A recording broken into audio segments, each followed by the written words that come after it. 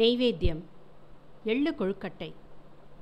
தேவையான பொருட்கள் கருப்பு அல்லது வெள்ளை எள் ஒரு கப் துருவிய வெல்லம் முக்கால் கப் ஏலப்பொடி சிறிதளவு.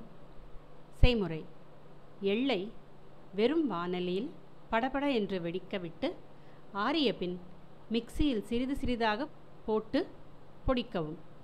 வெள்ளப்பொடி ஏலம் இவற்றை சேர்த்து சொப்பினுள் வைத்து ஆவியில் வேக விடவும் தெம்புக்கு தெம்பு டேஸ்ட்டுக்கு டேஸ்ட்